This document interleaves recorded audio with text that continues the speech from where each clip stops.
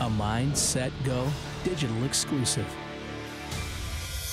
I'm Karolina Wisniewska. I'm an eight-time Paralympic medalist in alpine skiing. I was born with mild cerebral palsy. It affects the muscles in my core and my legs. For alpine skiing, you need strong legs.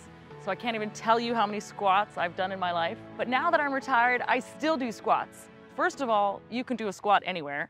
Second of all, you can use it to pump yourself up if you need some energy or to get rid of some like frustration or anger.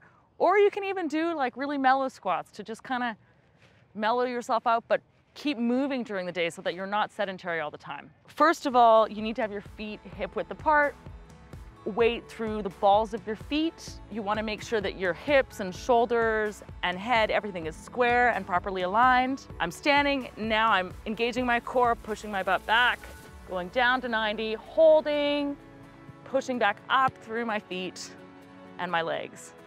And one more time, dropping my butt back all the way down to 90, holding, then pushing up through my feet and my legs. So if there are any of you out there who are thinking about getting into skiing or improving your skiing, you can go and do some squats anywhere.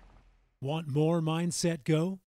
Watch on AMI TV or stream full episodes on AMI.ca and on the AMI TV app for iOS in partnership with the Canadian Paralympic Committee with the participation of the Canada Media Fund.